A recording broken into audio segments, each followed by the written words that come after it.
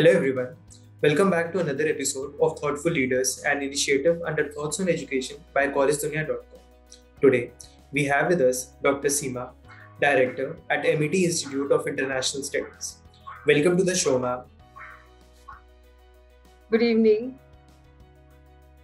Ma'am, we would like to start with a brief introduction of yours. Dr. Seema is a PhD, MA Psychology, MBA HR, and believes that attitude, passion, and willingness to work hard leads to success. With over 35 years of experience as a counselor, academician, and thoughtful leader in psychology, ma'am has over 13 years of experience as a director at multiple business schools. Ma'am is also a freelance journalist for several national and vernacular publications like the Times of India, Indian Express, Nav Bharat Times, Dainik Jagran, Amar Ujala, and many others. Welcome to the show, ma'am. Thank you, Garvit. I'm really uh, very happy to be part of this uh, program. So, shall we begin the interview then? Yeah, yeah. Let's start.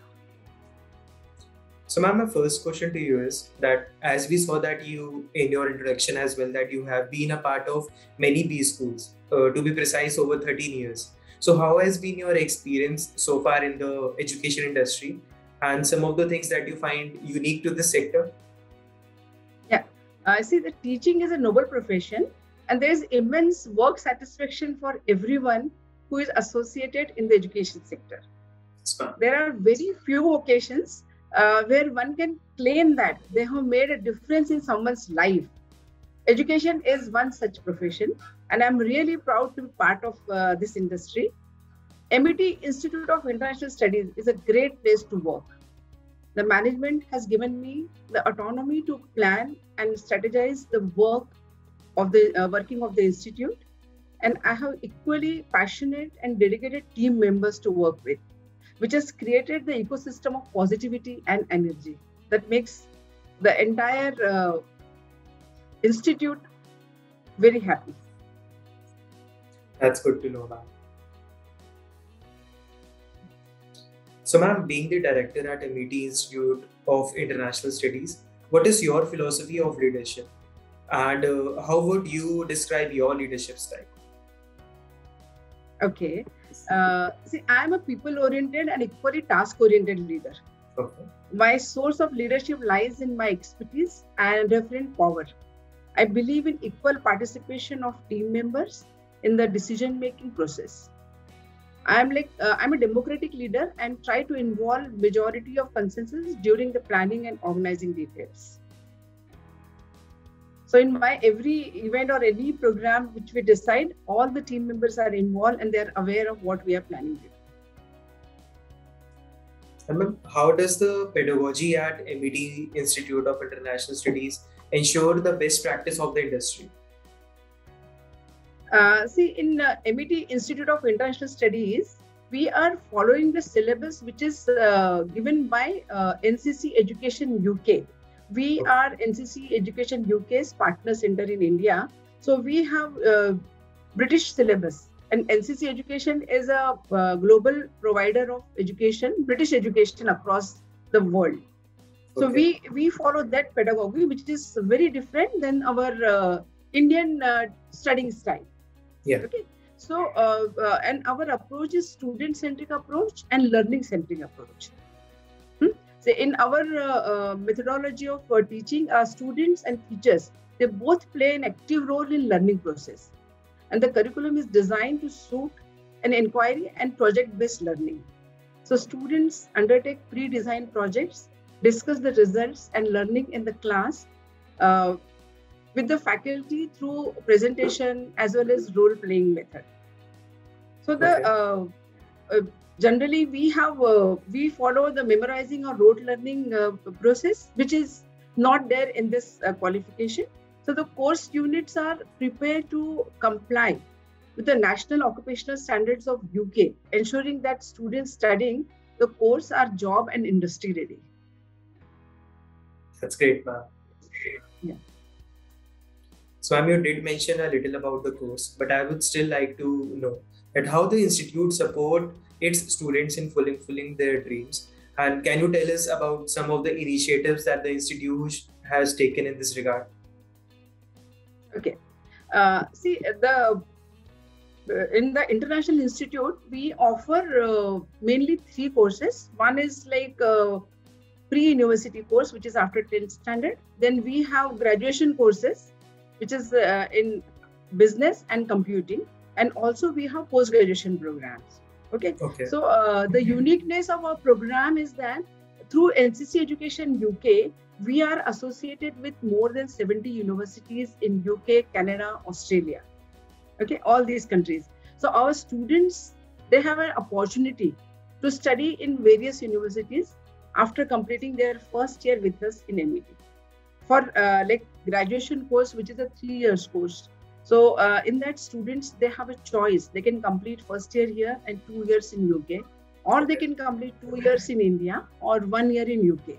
So this is how this makes you know uh, we are making uh, this course available and accessible to a lot of students those who you know who have a dream of studying abroad but majority of time you know parents or students out there feel it is a very expensive education in uk or canada or australia any foreign countries as compared to india.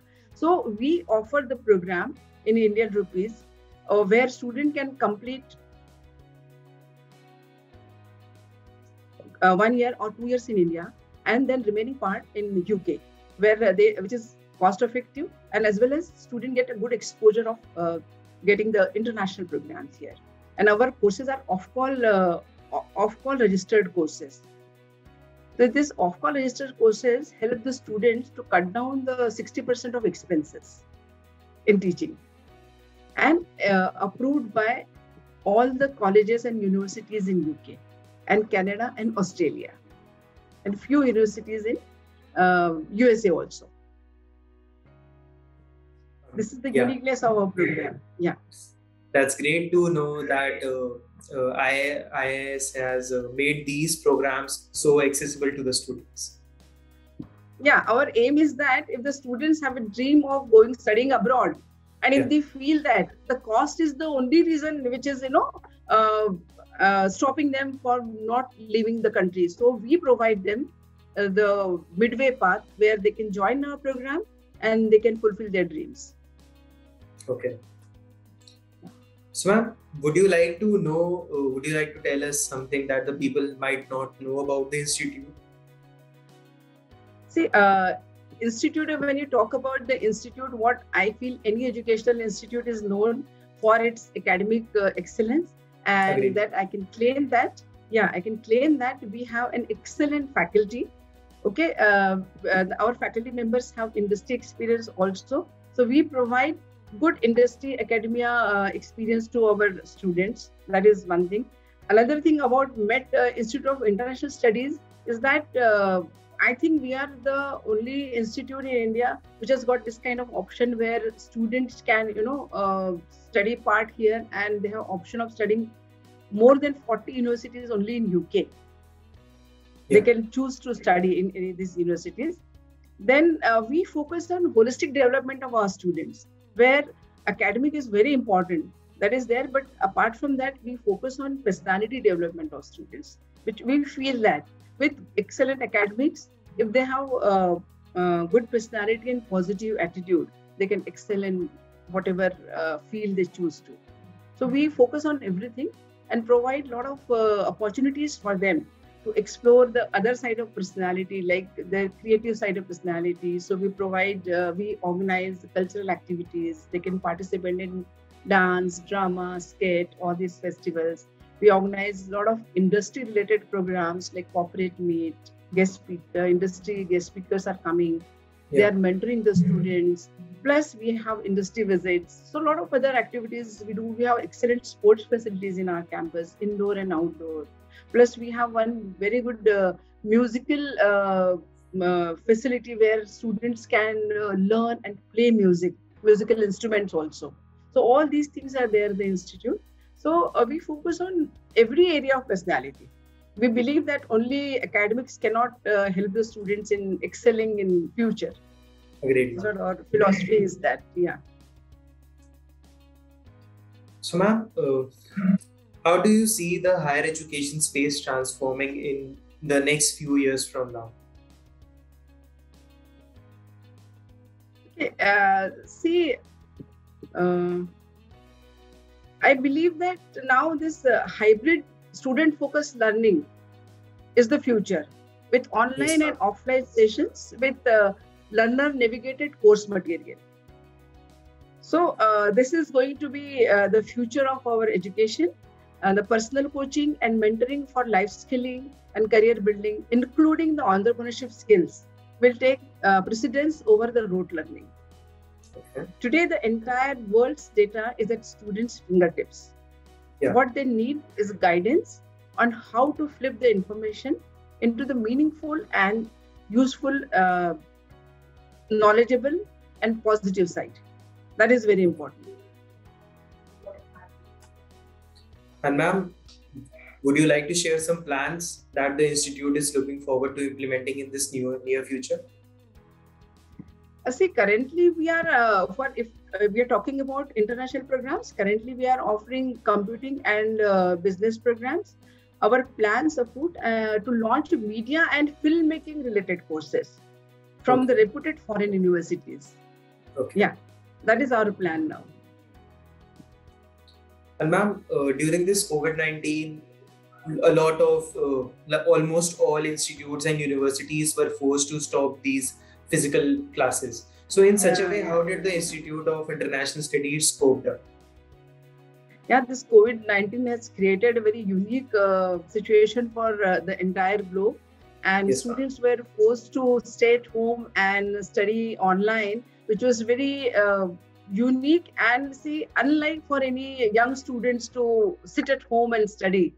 But uh, during this time, um, MET actually has uh, provided a quick access to online uh, video meeting platforms and online learning management systems to shift okay. the physical classroom to the online learning management systems. And we, uh, all of us got good training also from the trained uh, IT uh, people to how to conduct the classes online. The faculty uh, were trained. So uh, it was very smooth transition for us from uh, classroom to online teaching was a very smooth and i also conducted the motivational and mental health online sessions to ward off depression among the students and academic fraternity in my capacity as a psychologist so it, it was uh, uh, difficult initially but then we got used to it and very smoothly even students also accepted and adopted to this pedagogy. And especially about if i talk about uh, international students our uh, timetable time schedule for exam was given in advance and we followed the same. We conducted exams in the month of may and uh, our results were declared in the july. So there was no disturbance from uh, uh, because of covid there was no disturbance in our entire system. We are very very process oriented and the entire schedule is given six months or one year in advance. And we followed it and we followed that during this covid time also. It was very wonderful experience for all of us. Yeah?